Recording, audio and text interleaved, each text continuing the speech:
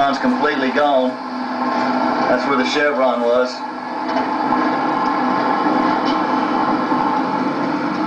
There's McDonald's right there. That's gutted.